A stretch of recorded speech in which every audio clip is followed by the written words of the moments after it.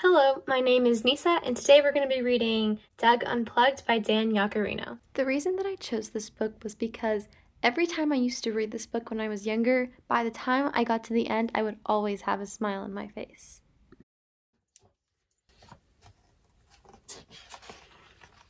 This is Doug.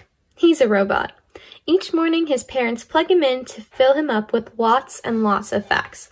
They love their little robot and want him to be the smartest robot ever. Today you'll be learning all about the city, said his mom. Happy downloading, said his dad. Doug learned about many city things, but then something caught his eye. It was a pigeon.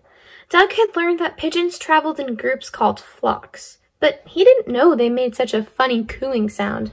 He wondered if there were more things he could learn if he went out into the city, so... If you had to predict, what do you think is going to happen next? Doug unplugged. Right away, he learned that if you flew into a flock of pigeons, they scattered. Doug knew that cities were teeming with people, but he discovered that crowded sidewalks made it hard to see where you were going. Doug found the subway. He already knew that subway trains ran underneath the entire city, and that kids rode for free. And now he found out that subway trains screeched their way around corners. He could not wait to learn more. Doug knew that skyscrapers had strong steel frames so they could be many stories high. But he was amazed by the view from the top of one. He could see everything. Doug learned many more things about the city, like wet cement feels squishy under your feet.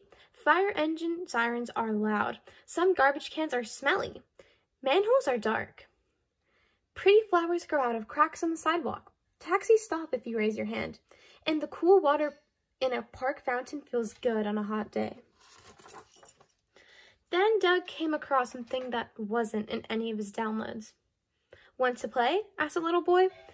Doug didn't know anything about playing, but he was happy to learn. Doug learned how to play hide and seek and a new game called tag. Doug found out that there were all sort of there were all sorts of different ways to play. And that it was nice to have a friend to play with. I don't see my mom or dad, his friend said, sounding scared. Doug remembered a way to get a better view of things, so... Zoom! They flew way up high. There they are, the little boy shouted. When they landed, the little boy ran to his mother and father. Doug thought about his own parents, and suddenly he wanted to tell them everything he had learned today. The best thing he learned was that if you want to show your parents you love them, you should give them a great big hug. And his parents thought he was the smartest robot ever. Did you like the book? What was your favorite part? Did you like the ending? The end.